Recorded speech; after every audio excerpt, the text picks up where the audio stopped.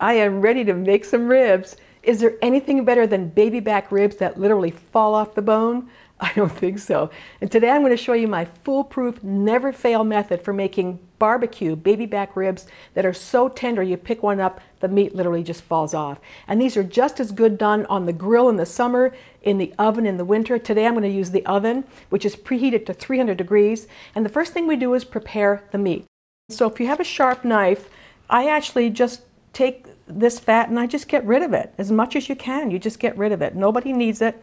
This is what causes all the heart, the heart disease and everything. So just take off as much as possible.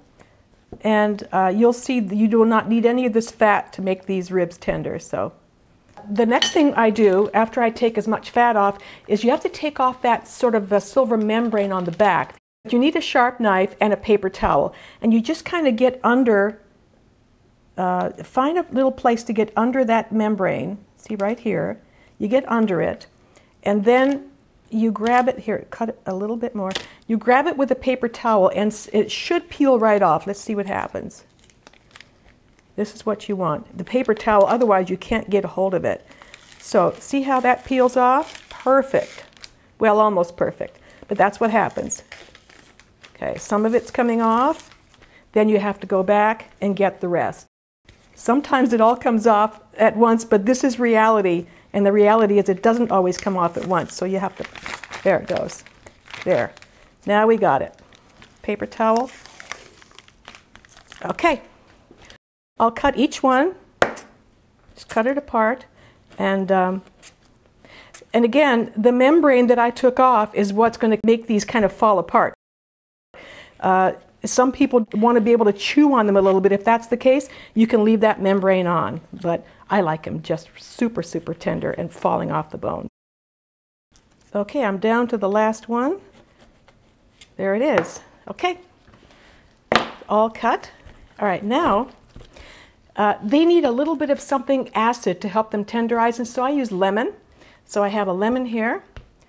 I'm going to cut that in half and you just I just kind of just put lemon on them all over and just rub them with lemon both all sides. I think this is a pretty nice big lemon so I don't need any more than that.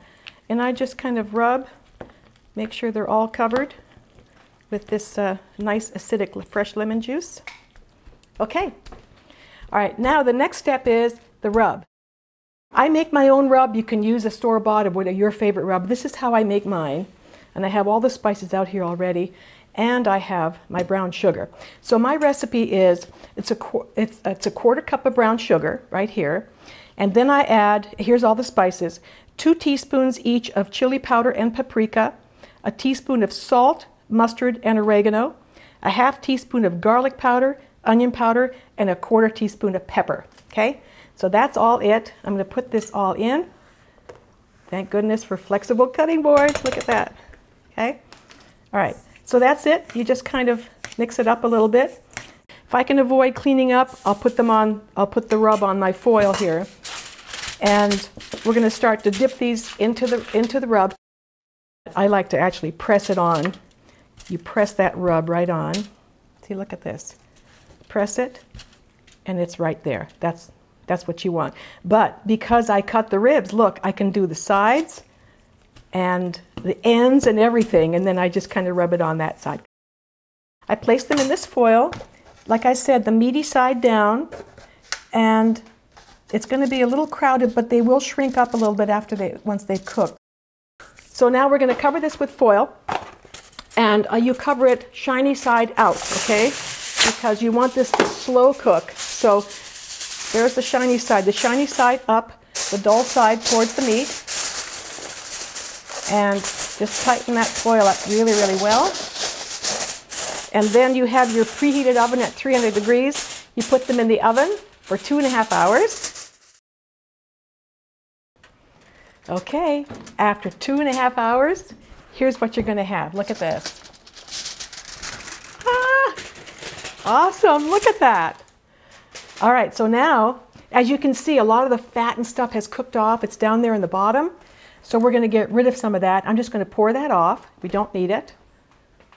I'll pour it off, as much of it that comes off. Okay?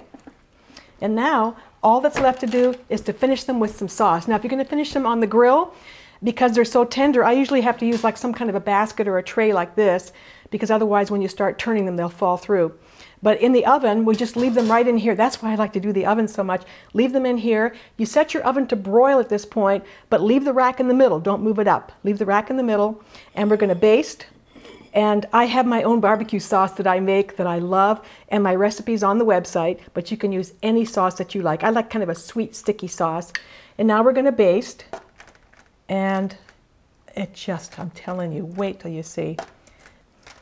Okay, there's the sauce. Now they go in the oven that's now set to broil. The rack is in the same spot right in the middle. And about five minutes per side.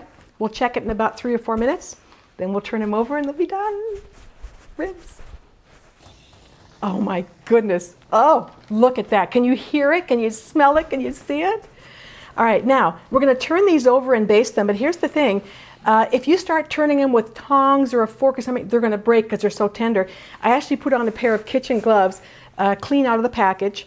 And these are thicker because they're hot, but it's much easier to handle them because they're very, very tender at this point. So we're just going to turn them over. Can you look at this? Look at that. It's just, oh my God. All right. So we'll turn them all over. And again, you can see how that meat is just coming off. So and you'll be glad you used this disposable foil or something foil lined because it does, uh, the broiler definitely makes kind of a mess in there. Look at how, see this, what I'm talking about? Look at this. And I'm handling it with gloves and it's falling apart. Now we're going to baste this side. This is the meaty side. So back in your broil, broiling oven. The thing about this is too is you can actually look at this. They handle the heat so well. You don't they don't get that hot. Okay. Back in there four to five minutes, and they're done. Oh, look at this. I can actually handle this with these gloves because they're nice and thick, but look at that. I'm telling you, there are no words to describe how awesome these are. They're very hot, so I still have my gloves on. I'm just going to pick one up and show you how, okay, oh, it's still cooking. You do want to let them sit for a couple of minutes, but just look at this. All right, that's, that's Okay, that's it. If you make these ribs, you're going to make somebody really, really happy. Hi, sweetheart. Guess what I made for dinner? Those baby back ribs that fall off the bone, and they're right here. I love you. I love you too, sweetheart.